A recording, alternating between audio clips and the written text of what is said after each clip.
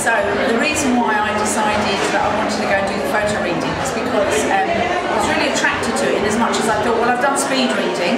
I'm a great advocate of trying to save time, but actually it blew my mind because once I started to look at the course and see what it was, I suddenly realised that the way I've been taught to read was not how I should have been taught to read. And I wish they took this into schools, I wish I'd learned it when I was younger, because it's been transformational to the point that now I don't read the way I used to.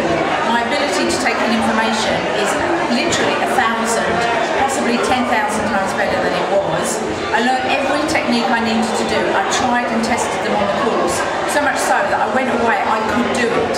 Not I had to go and do more, I just could do it. And then all I did thereafter was practice to get better and better and better. And the other night I got through a 450 page novel that someone had lent me and I'd had for too long. And I got through it in about an hour and a half and I now know enough about that novel to be able to know what the story was, what was good about it, and I can give that resume back um, to the person who lent it to me, which is phenomenal. But I can do it with my workbooks, and also I would suggest that you can do it with any piece of material that either interests you or doesn't.